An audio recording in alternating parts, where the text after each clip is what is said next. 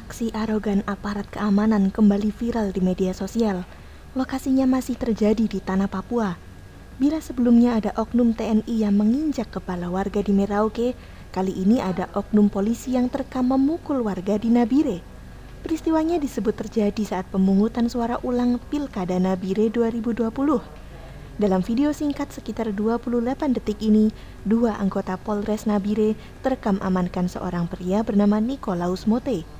Pria itu diduga membuat keributan saat ajukan protes hasil pilkada di TPS 07 Kampung Bumi Wonorejo. Namun, saat mencoba naikkan pria tersebut ke truk, petugas terekam jelas memukul pria ini bahkan lebih dari satu kali. Menanggapi hal ini, Kapolda Papua Irjen Pol Matius D. Fakiri jujur membenarkan dan sampaikan permohonan maaf. Irjen Pol Matius mengaku kecewa atas perilaku dua anak buahnya ini ia pun memastikan dua anggotanya ini menerima sanksi penahanan dari Propam Polres Nabire. Kedua polisi ini juga sudah dipertemukan dengan korban Nikolaus dan keduanya sepakat akhiri problem ini secara damai.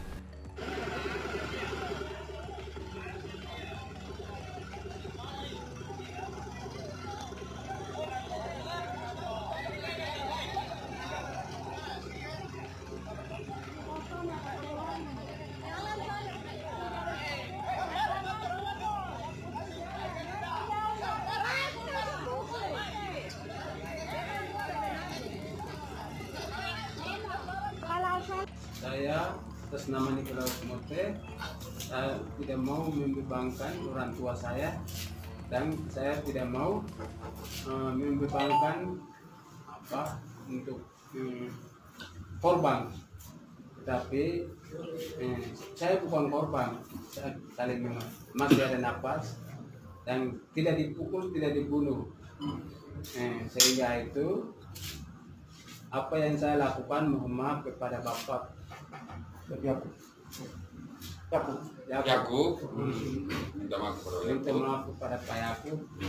Memang karena atas di teriak-teriak di TPS mohon maaf mohon maaf rangkulan rangkulan nah, ini sudah saya yang sahkan jadi adik kakak berdua lagi nah, kita sudah lampaikan ke anggota untuk lakukan tindakan yang humanis terhadap anggota yang melanggar sekalipun.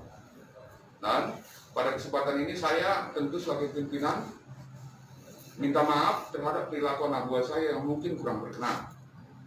Biarpun dari Bapak sendiri tidak mau dibilang korban, karena beliau tidak merasa bahwa ada masalah dengan ini. Jadi, saya tetap melakukan tindakan disiplin untuk anggota saya.